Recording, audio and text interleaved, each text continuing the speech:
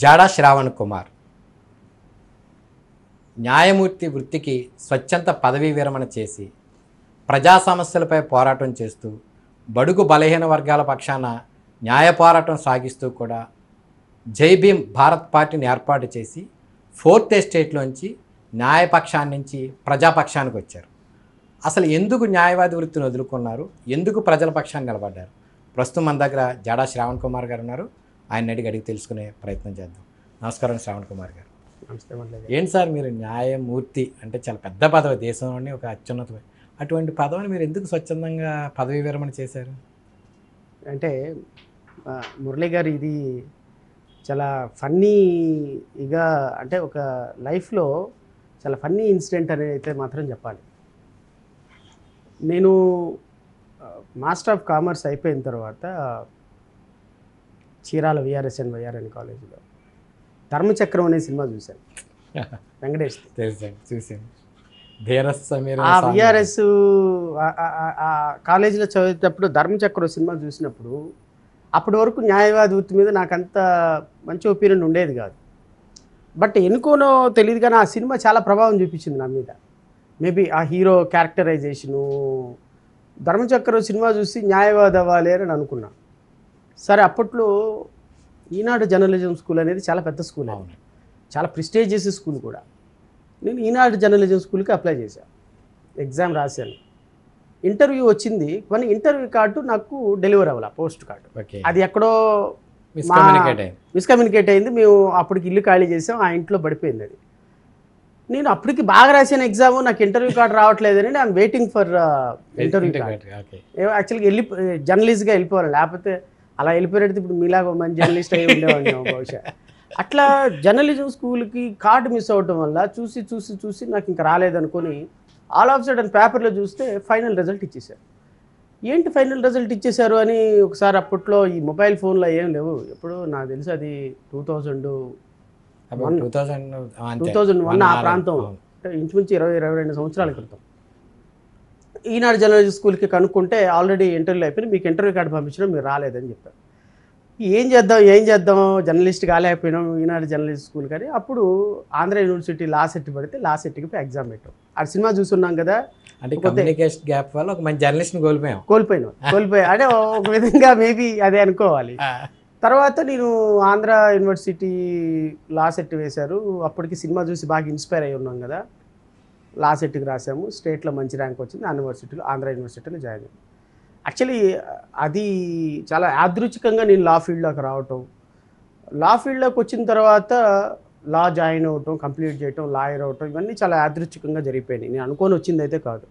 But అల్టిమేట్గా ఈరోజు న్యాయవాది వృత్తిలోనే కొన్ని వేల మంది ప్రజలకి న్యాయ సహకారం అందించడం కానీ లేకపోతే కొంత న్యాయవాద వృత్తిలో కొంత ప్రజలకి ఏదైనా చేయగలమనే ఒక భరోసా ఏర్పడటానికి కారణం అయిందనమాట సో ఆ విధంగా యాదృచ్ఛికంగా సినిమా చూసి న్యాయవాదిని అయ్యాను పోస్ట్ కార్డు మిస్ అవ్వటం వల్ల న్యాయవాదిని అయ్యాను ఆ తర్వాత న్యాయవాది అయిన తర్వాత న్యాయమూర్తి పదవి అంటే సహజంగా న్యా లాయర్లందరికీ జడ్జి పోస్ట్ చాలా గొప్పగా కనిపిస్తుంది.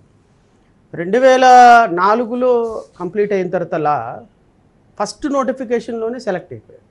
న్యాయమూర్తిగా న్యాయమూర్తిగా అంటే మొదటి మూడు సంవత్సరాల్లోనే మనకి నాకు ఆ ఎగ్జామ్ రాయటం టూ థౌజండ్ ఎయిట్ కల్లా జడ్జ్ అయిపోయాయి అంటే త్రీ ఇయర్స్ ప్రాక్టీస్ చేసే అవకాశం కూడా లేదు. అయితే Andhra university AC college degree నేపథ్యం గుంటూరు సొంత ఊరు గుంటూరు అవడం వల్ల ఏసీ కాలేజీలో డిగ్రీ ఇంటర్మీడియట్. ఈ ఉద్యమాలు లీడర్షిప్ క్వాలిటీసు ఎక్కడ అన్యాయం జరిగితే అక్కడ చేయటం అలవాటైంది. ఏఎస్ఎఫ్ఐ వాటిలో తిరగటం వల్ల. సో ఆ విధంగా ఒక్కసారిగా లీడర్షిప్లో నుంచి ఐసోలేటెడ్ ప్లేస్లోకి వెళ్ళిపోయినా. న్యాయమూర్తి అంటే ఎవరితో మాట్లాడటానికి. లేదు కలవటానికి లేదు ప్రశ్నించడానికి లేదు. కేవలం నాలుగు గోడల మధ్య కూర్చొని నాలుగు పుస్తకాలు వేసి. పెన్తోటి రాసుకుని సమాధానం చెప్పడం. So my enable to adjust because various reasons అయి ఉండొచ్చు. బట్ చాలా మంచి పోస్టు గొప్ప ఉన్నతమైన పోస్టు. సో పది సంవత్సరాలు ఉండగలిగాను. పది సంవత్సరాల తర్వాత ఇక అది మనకి సరిపోయిన పోస్ట్ కాదు.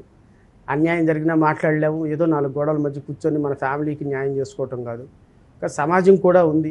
మేబీ ఓవరాల్గా చెప్పాలి అంటే తెలివి ఎక్కువైపోయి చేసిన పని అది. అతి తెలివి ఎక్కువైపోవటం వల్ల మనకి ఏదైనా ఎలాగైనా బ్రతకగలం బయటకు వెళ్ళి ప్రాక్టీస్ చేసుకోగలం అని ఒక తెలివి ఎక్కువైపోయి ఆ తెలివిలో నుంచి కాన్ఫిడెన్స్ వచ్చేసి ఆ కాన్ఫిడెన్స్ వల్ల న్యాయమూర్తి పదవి వదిలేయాల్సి వచ్చింది.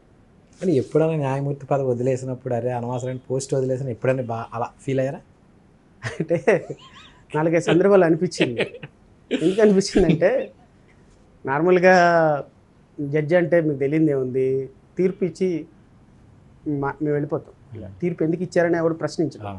ఆ తీర్పు ఇవ్వలేదని కూడా ప్రశ్నించరు. ఎందుకు ఎలా ఇచ్చారో కూడా అడగ అడగరు. జడ్జి శిక్ష వేస్తే నమస్కారం అంటారు. వేయకపోతే ఆహా సంతోషంగా వెళ్ళిపోతారు. ఆ న్యాయమూర్తిని ప్రశ్నించే వ్యవహారం లేదు. ఈవెన్ హైకోర్టు కూడా మీరు ఎందుకు శిక్ష వేశారని కానీ లేకపోతే మీరు ఎందుకు వేయలేదని కానీ అడగదు. ఇది డిస్క్రిషనరీ పవర్ ఉన్నటువంటి పోస్టు ఎప్పుడైనా నాలుగైదు సందర్భాల్లో ఎప్పుడు అనిపించిందంటే న్యాయవాది అయిన తర్వాత ఎవరో క్లయింట్ ఫీజు ఇస్తాడు.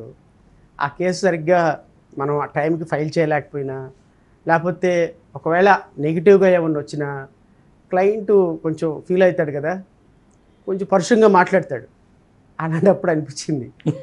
జడ్జి పోస్ట్లో న్యాయమూర్తి పదవిలో కూర్చొని జడ్జిమెంట్ ఇవ్వాల్సిన పరిస్థితుల్లో పదివేలు ఐదు వేల రూపాయలు తీసుకొని కేసులు వేస్తుంటే న్యాయవాదిగా ప్రతి ఒక్కరికి ఆన్సరబుల్గా ఉన్నాము. ప్రతి ఒక్కరికి సమాధానం చెప్పే పరిస్థితుల్లో ఉన్నాము.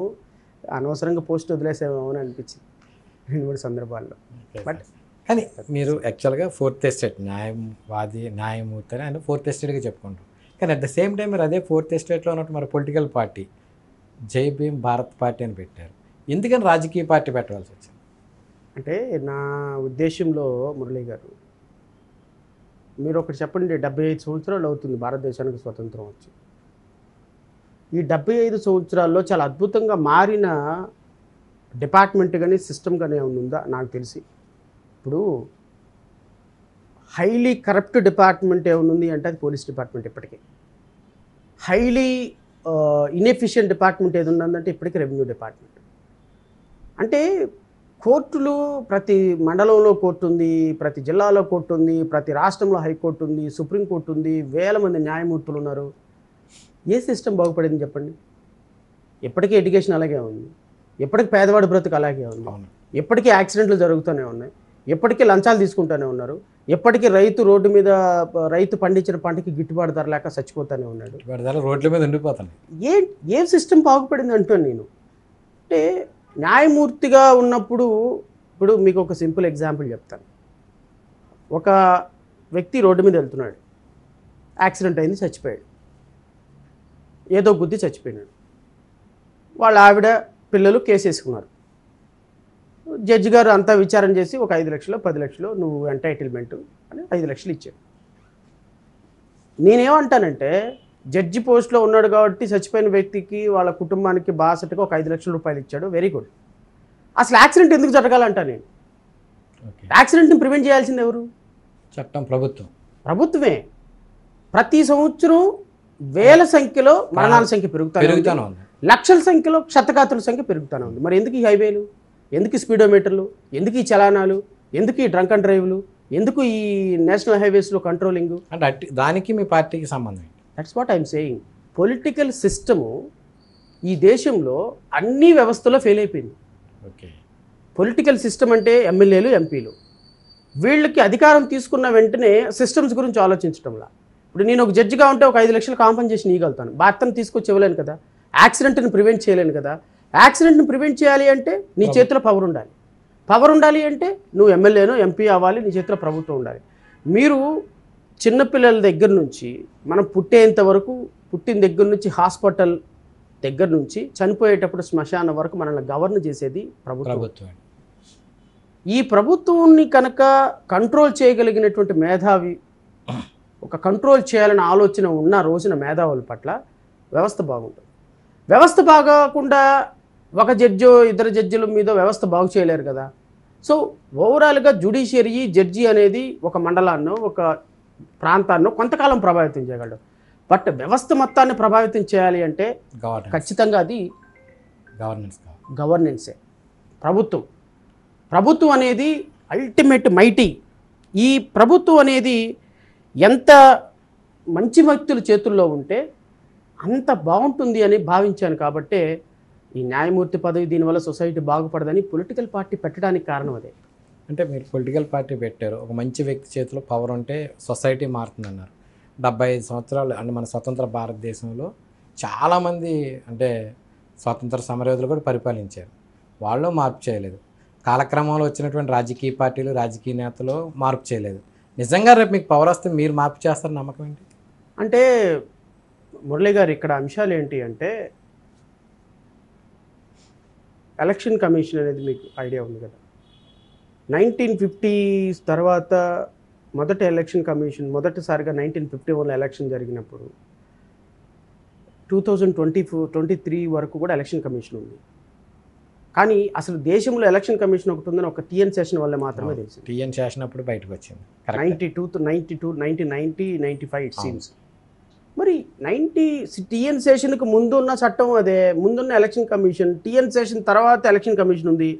టీఎన్ సెషన్కి ముందు పనిచేసిన ఎలక్షన్ కమిషన్లు మనకు తెలియదు టీఎన్ సెషన్ తర్వాత ఎలక్షన్ కమిషన్ మన పేర్లు గుర్తుండవు. ఎందుకు గుర్తుండవు? See one man makes the system so perfect అందులో డౌట్ లేదు. వ్యక్తుల వల్ల వ్యవస్థలు బాగుపడతాయి. వ్యవస్థల వల్ల వ్యక్తులు బాగుపడరు. సో ఒక వ్యక్తి నిజంగా కమిట్మెంట్ తోటి కూర్చుంటే వ్యవస్థ బాగుపడుతుందని నమ్మకం ఉంది నాకు. నేనేదో రాజకీయంగా మొత్తం ప్రక్షాళన చేసేస్తానని వ్యవస్థ మొత్తాన్ని మోసేస్తానని నేను చెప్పలేను. బట్ ఇప్పుడున్నంత వరస్ట్ కండిషన్లోకి మాత్రం తీసుకెళ్ళకుండా ఉండడానికి ప్రయత్నం చేస్తాను ఎంతో కొంత బాగు చేయడానికి ప్రయత్నం చేస్తాను అట్లీస్ట్ ఎడ్యుకేషన్ బాగు చేస్తాను. ఐఏఎస్ ఆఫీసర్ కొడుకు దగ్గర నుంచి నిరుపేద కూలీ వరకు ఒకే స్కూల్లో చదవాలి ఒకే ఫీజు తోటి ఒకే ఎడ్యుకేషన్ అందాలి. ఒక ప్రయత్నం. ఒక ప్రయత్నం చేస్తాను ఇప్పుడు ప్రయత్నంలో నేను సఫలం అవ్వచ్చు విఫలం అవ్వచ్చు నాకున్న ఆర్థిక సామాజిక రాజకీయ పరిస్థితులను బట్టి నేను చట్టసభలోకి వెళ్ళటం కూడా డౌటే. ఎందుకంటే ఒక ఎమ్మెల్యే అవ్వాలంటే ఇరవై కోట్లు పాతి కోట్లు కావాలి. ఎందుకు? నేను జడ్జి పోస్ట్ రిజైన్ చేశానమ్మా. నాకు ఓటే అంటే పదివేలు ఇవ్వమని అంటే ఓటర్లని ప్రజ- అలా తయారు చేసేసాం. మనం. ప్రజల మైండ్ సెట్ అట్లా. ఇప్పుడు నేను ఆ డబ్బులు ఇవ్వలేని పరిస్థితి నాది అమ్మ నమస్కారం పెట్టి అమ్మ ఒక ఓటు వేయండమ్మా అంబేద్కర్ రాజ్యాంగం కాపాడుతానమ్మా అంటాను ఈ అంబేద్కర్ రాజ్యాంగం నువ్వు ఎవరికి కావాలి మాకు వైఎస్ఆర్సీపీ పదివేలు ఇస్తుంది ఇంకో పార్టీ ఐదు వేలు ఇస్తుంది మాకు మీరు వాళ్ళు ఈ విధమైనటువంటి ఆలోచన ప్రజల్లో ఉన్నంత వరకు మాలాంటి వాళ్ళకి రాజకీయాల్లో స్థానం లేదు పని అలాగనే ఎలిమినేట్ ఎలిమినేట్ అయిపోదామా. అంటే జై భీమ్ భారత్ పార్టీ ఏర్పాటు అవటానికి మీరు ఇలాంటి కార్యక్రమాలు నిర్వహించడానికి టీడీపీ అధినేత చంద్రబాబు బ్యాక్గ్రౌండ్ నడిపిస్తున్నారు అనేది ఒక ప్రచారం. సార్ ఇప్పుడు మురళీ గారు మీకు తెలియంది కాదు సీనియర్ జర్నలిస్ట్ మీరు ముప్పై నలభై సంవత్సరాల నుంచి జర్నలిజంలో ఉన్నారు. ఒక రాజకీయ పార్టీ వెయ్యి కోట్లు ఉన్నవాడు పెట్టడానికి కూడా సాహసించిన పరిస్థితి ఈ రోజుల్లో. ఇప్పుడు నేనేదో టీడీపీ దగ్గరికి వెళ్ళిపోయి టీడీపీ స్పోక్స్ పర్సన్గా తీసుకొని నాకున్న నాలెడ్జ్కి నాకున్న కాస్త అనుభవానికి నాకున్న సామాజిక బ్యాక్గ్రౌండ్కి ఎస్సీ అయినా. నేను ఏ పార్టీలోకి వెళ్ళిపోయినా కూడా నాకు ఒక పదవి స్థానం ఇస్తారు. సపోర్ట్ చేస్తారు సముచిత స్థానం ఇస్తారు. నేను అక్కడ ఎమ్మెల్యే అయ్యొచ్చు నాకు టైం బాగుంటే మినిస్టర్ అవ్వచ్చు. కానీ నేను అది చూస్ చేసుకోకుండా ఎందుకు నేను నీలి జెండా పట్టుకొని ఒంటరి పోరాటం సముద్రంలో చేయడానికి ప్రయత్నం చేస్తున్నాను? నాలాగా నీలి జెండా పట్టుకొని ప్రయత్నం చేసేవాడికి ఎవరు సపోర్ట్ చేస్తారు? తెలుగుదేశం పార్టీకి అంత అవసరం ఏం పట్టింది? శ్రవణ్ కుమారు ప్రచారం చేస్తే శ్రవణ్ కుమారు డబ్బులిచ్చి డబ్బులు ఇచ్చి ప్రచారం చేయించుకునేంత గొప్పవాడ శ్రవణ్ కుమార్? నాన్ సెన్స్ రెండోది ఈ వ్యవస్థ ఎట్లా తయారైందంటే మురళీ గారు చాలా సీరియస్లీ అబ్జెక్ట్ చేయాల్సినటువంటి అంశం ఇది. వైఎస్ఆర్ ఎవరైనా సరే వైఎస్ఆర్సీపీ ప్రభుత్వం అధికారంలో ఉన్న తెలుగుదేశం ప్రభుత్వం అధికారంలో ఉన్నప్పుడు వైఎస్ఆర్సీపీ ప్రభుత్వ అధికారంలో ఉన్నప్పుడు ఆ పార్టీని ఎవరు విమర్శించినా వాళ్ళందరూ వైసీపీ. వైసీపీ అధికారంలోకి వచ్చిన తర్వాత ఎవరు విమర్శించినా వీళ్ళందరూ తెలుగుదేశం అంటే ఒక మురళి ఉంది ఒక మురళికి ఒక వ్యక్తిత్వం ఉండదా? వ్యక్తిగతంగా మురళి వైఎస్ఆర్సీపీ సపోర్ట్ లేకుండా ప్రశ్నించకూడదా? లేకపోతే వ్యక్తిగతంగా మురళి తెలుగుదేశం సపోర్ట్ లేకుండా ప్రశ్నించకూడదా? శ్రవణ్ కుమార్ ప్రశ్నించకూడదా? ఎక్స్క్యూజెడ్ ప్రశ్నించకూడదా? అంటే ఎలా అయిపోయిందంటే ఉంటే తెలుగుదేశం లేకపోతే వైసీపీ ఈ రెండు ఎవరు విమర్శించినా అవతల పక్క పార్టీ వాళ్ళు వాళ్ళే. వాళ్ళు డబ్బు సప్ డబ్బులు సపోర్ట్ చేస్తున్నారు. వాళ్ళు ఏదో రాజకీయంగా సపోర్ట్ చేస్తున్నారు. ఎవరు ఎవరికి సపోర్ట్ చేసే పరిస్థితిలో ఉన్నారు మురళి గారు? తిని తినక రూపాయి అది రూపాయి పోగేసుకొని కష్టపడి సంపాదించి ప్రజల కోసం కష్టపడుతుంటే నువ్వు తెలుగుదేశం ఏజెంట్ అని ఒకడు అంటాడు. పది కోట్లు తీసుకున్నావు అని ఒకడు అంటాడు. అమరావతి రైతుల కోసం ఆర్ఫై జోన్కి వెళ్ళి ప్రయత్నం చేస్తుంటే పది కోట్లు ప్యాకేజ్ తీసుకొని వంద కోట్లు ప్యాకేజ్ తీసుకొని వచ్చావు అంటారు ఎవరు ప్యాకేజ్ చేయడానికి సిద్ధంగా ఉన్నారు? ఎవరు ఎవరి దగ్గర తీసుకుంటారు? తీసుకోవాల్సిన అవసరం వాళ్ళకి ఏముంది? సో ఇవన్నీ కూడా నిరాధారమైనటువంటి ఆరోపణలు. వీటన్నిటికీ సమాధానం చెప్పి ఆ ఆరోపణలు చేసిన వాడిని పెద్దవాడిని చేయడానికైతే నాకు అంత సమయం లేదు ఓపిక కూడా లేదు. సరే ఈ రాజకీయ పార్టీ అంటే ఇట్స్ నాట్ ఏ జోక్. ఇప్పుడున్న పరిస్థితుల్లో అంటే ఇందాక మీరు కూడా చెప్పారు అంత డబ్బుతోటి కోట్లాది rూపాయలు కావాలి ఒక ఓటు అడగాలంటే పదివేలు ఐదు వేలు ఇట్లాంటి పరిస్థితుల్లో మీరు ఒక జై భీమ్ భారత్ పార్టీ ఏర్పాటు చేశారు. మనుగడ సాధ్యం అనుకుంటున్నారు? చాలా కష్టమైనటువంటి ప్రశ్న మురళి గారు. దీనికి సమాధానం చెప్పడం కూడా అంత ఈజీ కాదు. ఎందుకంటే మాటలు వేరు చేతలు వేరు. అయితే అసంభవమే నేను కాదనటంలా. ఆ పార్టీ నడపటం అసంభవమైనటువంటి విషయం.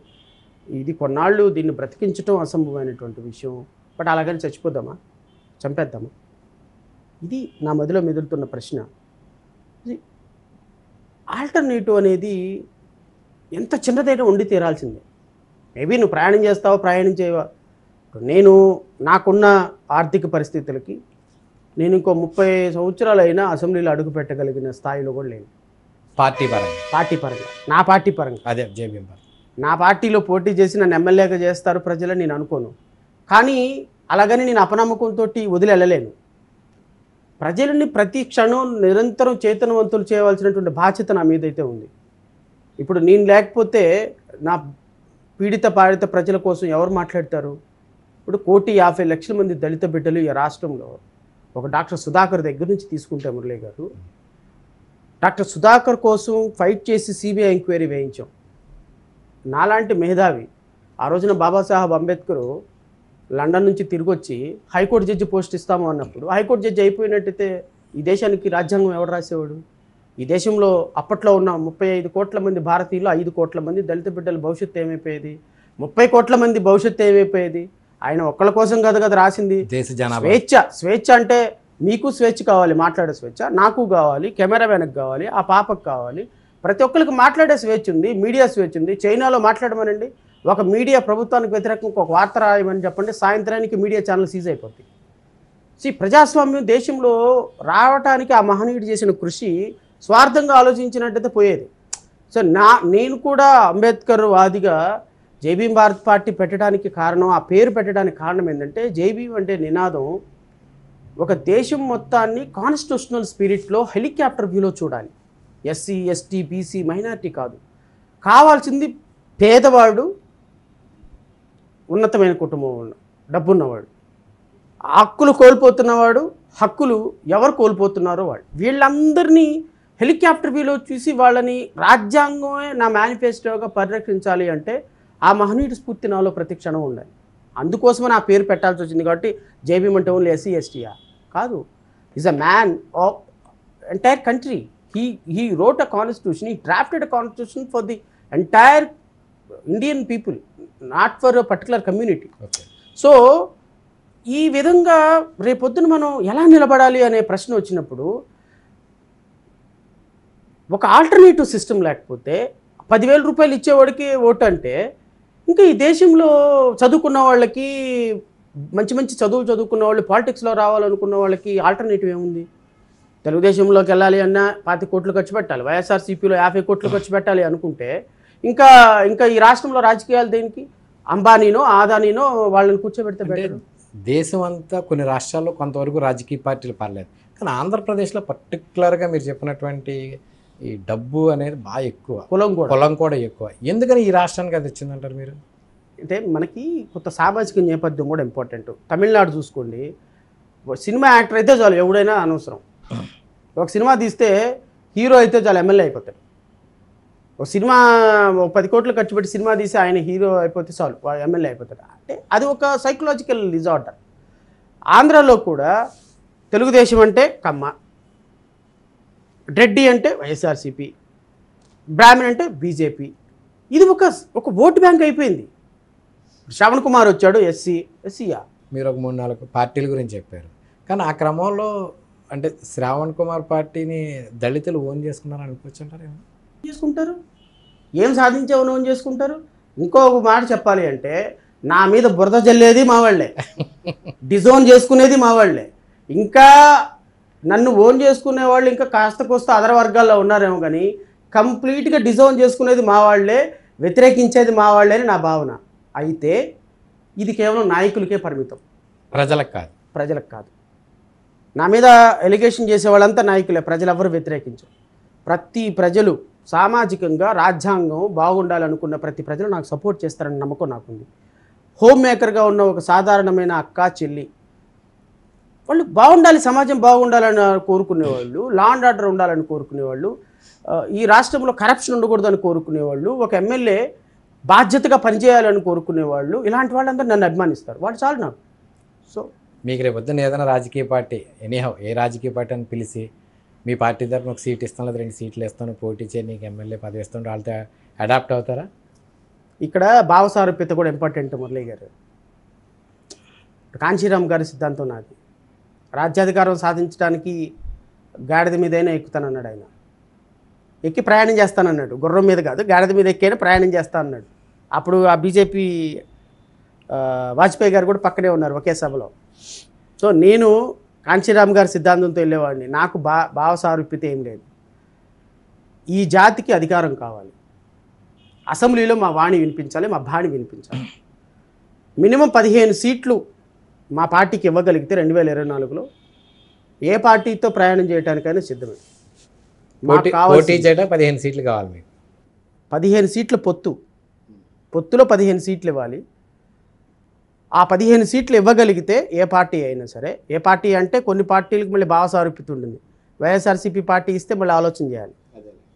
సో పోరాటం వాటి మీద నడుస్తుంది. నడుస్తుంది కాబట్టి. సో ఈ వర్గాలకి న్యాయం చేసుకోవాలి అంటే అసెంబ్లీలో ఉండాలి మురళి గారు అసెంబ్లీలో రాజ్యాధికారంలో భాగస్వామ్యం కావాలి మాకు.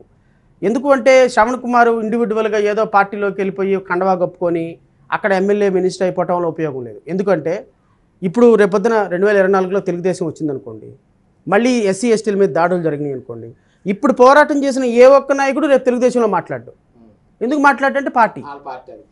సో మనం నిజంగా ప్రజల పక్షాన ఉండాలి అంటే మీరు ఇండిపెండెంట్గా ఉండాలి.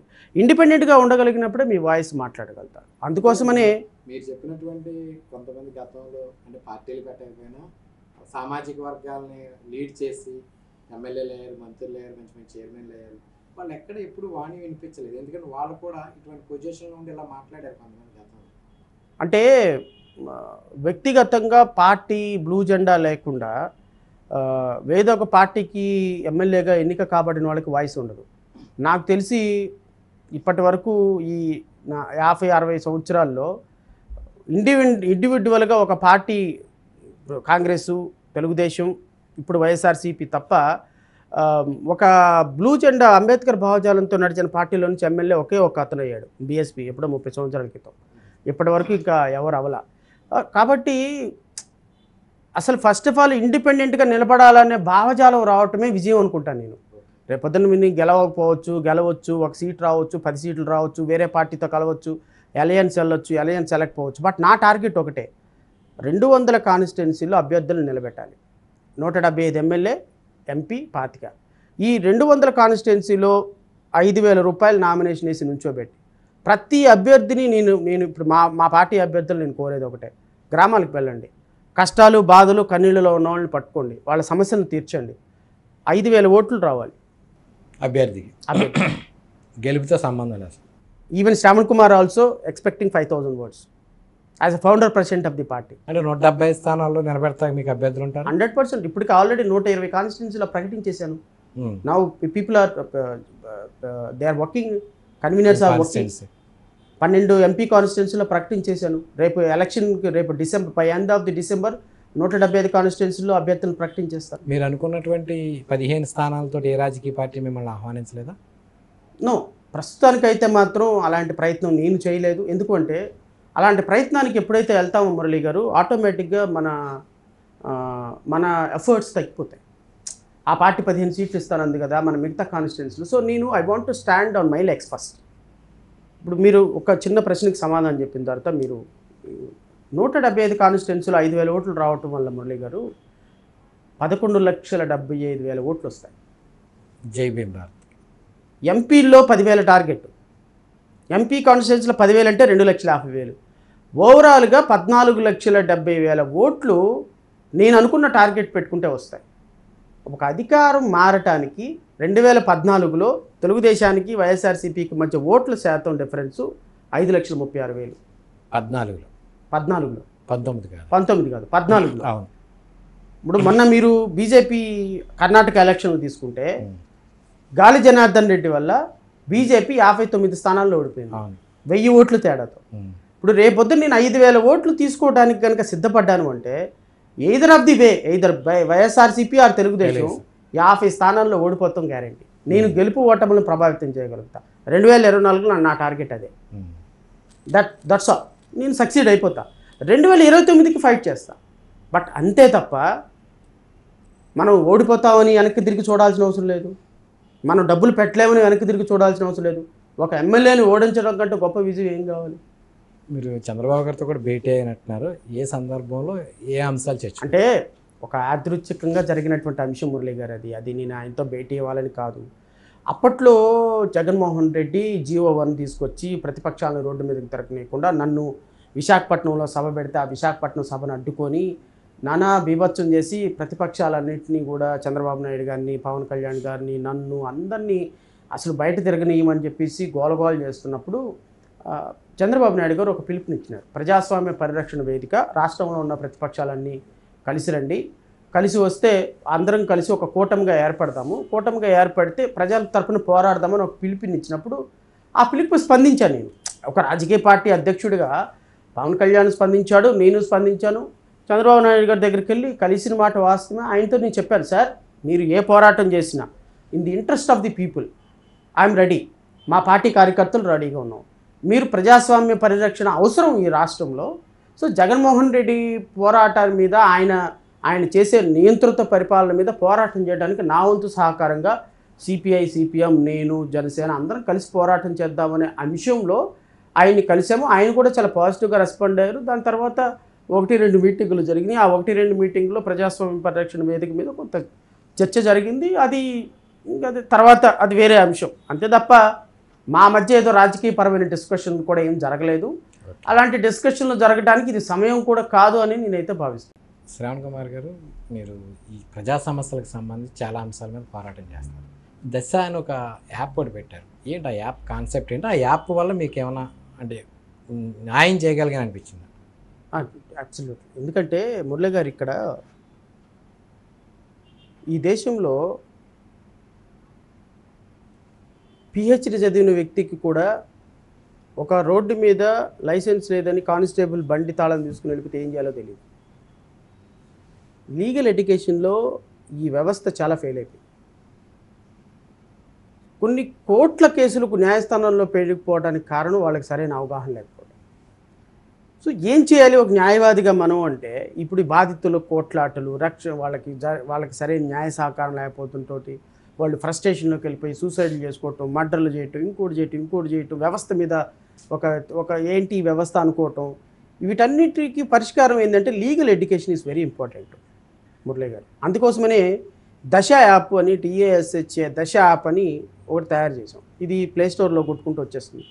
ది దశ యాప్ ఇన్స్టాల్ చేసుకొని ఎవరైనా ఎక్కడి నుంచైనా across the country or across the state ఇంట్లో కూర్చొని వంటగదిలో కూర్చొని టీవీ చూసుకుంటూ మీ లీగల్గా మీకున్న సమస్య ఏంటో దీంట్లో మెసేజ్ పెడితే విత్ ఇన్ స్పాన్ ఆఫ్ అవర్స్లో ఈ సమస్యకి పరిష్కారం ఏంటో వాళ్ళకి చెప్పేటువంటి ఒక app. Okay sir. Thank you Shravan Kumar you అండి. నమస్కారం అండి. ఇది మొత్తం మీద జాడా శ్రావణ్ కుమార్ గారి యొక్క అభిప్రాయాలు. అంటే ఆయన న్యాయవాది నుంచి ఎందుకు రాజకీయ పార్టీ పెట్టారు? రాజకీయ పార్టీ ద్వారా ఏం సాధించాలనుకున్నారు? చాలా వివరంగా చెప్పారు. అయితే ప్రస్తుతం ఉన్నటువంటి రాష్ట్రంలో ఉన్నటువంటి రాజకీయ పరిస్థితులు చూస్తే కనుక రానున్న ఎన్నికల్లో ఐక్య కూటమిగా ఒక బలమైన ఐక్య కూటమిగా కొన్ని రాజకీయ పార్టీలు ఏర్పడితేనే జగన్మోహన్ రెడ్డి సర్కార్ని గద్దె దించడం సాధ్యమవుతుంది. అట్లా కాని సం పక్షంలో రాజకీయ పరంగా రాజకీయ పార్టీలు ఎలా ఉన్నప్పటికీ కూడా రాష్ట్ర భవిష్యత్తు మరింత అంధకారంలోకి వెళ్ళిపే అవకాశం ఉందనే భావన అయితే ఆయన వ్యక్తం చేస్తున్నారు. మొత్తం మీద రానున్న ఎన్నికలు మాత్రం కొంత ఆంధ్రప్రదేశ్కి అత్యంత కీలకమైనగా ఆయన అభిప్రాయపడుతున్నారు.